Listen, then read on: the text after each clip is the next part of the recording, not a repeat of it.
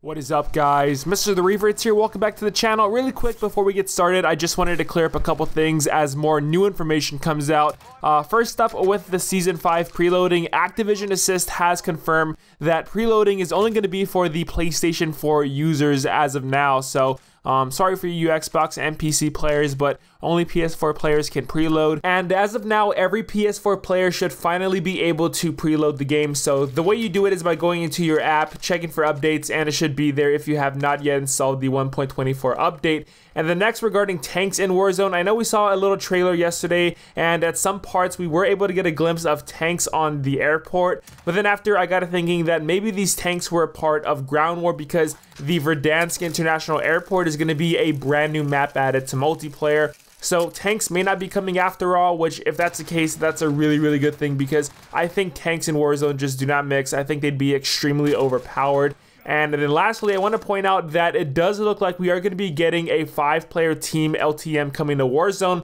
because at one part in the trailer we were able to see a total of five players inside of this one helicopter which I think five player teams sounds absolutely hectic. I really cannot wait to see how five player teams are going to work out for Warzone. I think there's going to be a lot of different high kill gameplays going on there. And then also we might be getting a new customization item in the form of smoke trails on vehicles, which I noticed after rewatching the trailer a couple times yesterday after I uploaded my video. But I don't really see too many people talking about this. Um, but yeah, it looks like we might be getting a new customization item in the form of different smoke trail colors for our vehicles. And just, I think it's pretty cool. I think it adds more fun to the game. Hopefully they don't nickel and dime us for these things. Um, but yeah, smoke trails are going to be a new customization item, hopefully. And the next up, guys, a couple of Call of Duty influencers and people within the community are receiving more of those little cards that showcase a teaser for something Call of Duty related. Um, this time, they now show the inside of Stadium, and I have footage on screen from my buddy PrestigeIsKey. Go check out his Twitter and YouTube down below in the description.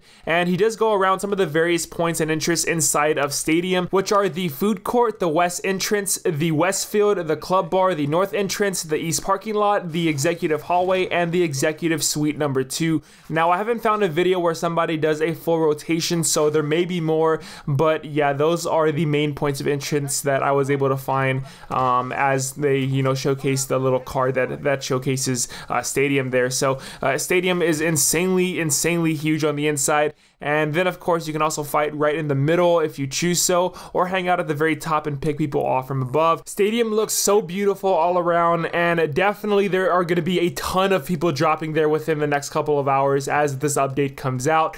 Um, if you guys want to see a virtual tour of Stadium yourself, Call of Duty has released a site called WarzoneStadiumTour.com that allows you to check out all of Stadium. Um, but as of now, I think the link is broken. I think we crashed the site, boys, but uh, hopefully it's going to be up shortly because I really want to see the full interior of Stadium. And then lastly, guys, Games Radar did an interview with Jeff Smith, who's the design director over at Infinity Ward, and he talks about how Warzone was built to be a standalone game from the very, very start, and it's going to evolve and tie into other Call of Duty games as they come out in the future, which we did kind of know because a couple of Infinity Ward directors have briefly teased that uh, we are going to be getting something similar to that when Warzone does come out, but this is actually actually the first time ever that a Infinity Ward director or employee has actually um, discussed the future for Wars for Warzone and how it is going to be tying into other Call of Duty games in the future. Um, rumors about the Call of Duty 2020 game, which is supposed to be Black Ops Cold War,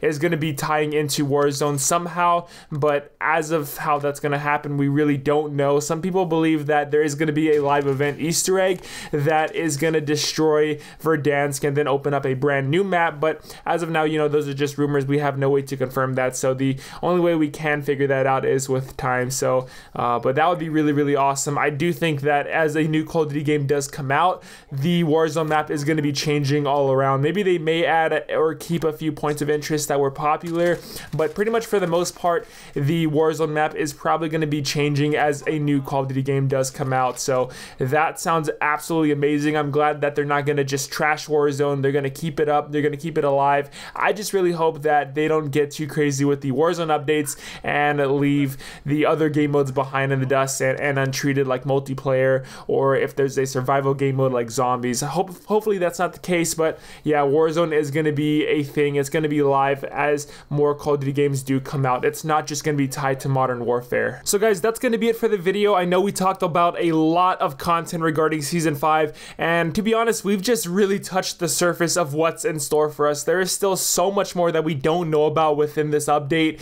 and I cannot wait to figure out more about Season 5 and what's in store regarding Call of Duty 2020 because that's a whole entire discussion in itself. But I am going to be covering all of this stuff, guys, so make sure you check back on the channel if we get any new information about that. And I'm going to be uploading new changes, tips, that kind of stuff regarding Season 5 uh, starting today and also leading up to the entire week. So come back to the channel. I'm also going to be live streaming leading up to the release of Season 5. I can't wait to do that later tonight, guys. So um, if you're interested, then please come back to the channel for that. And yeah, let me know your thoughts about this down below in the comments, guys. What are your thoughts about Season 5 and these new updates? And leave a like on the video if you guys did enjoy. Thanks for watching. Love y'all so, so much. Have a great rest of the day. Till next time, I'll see y'all later.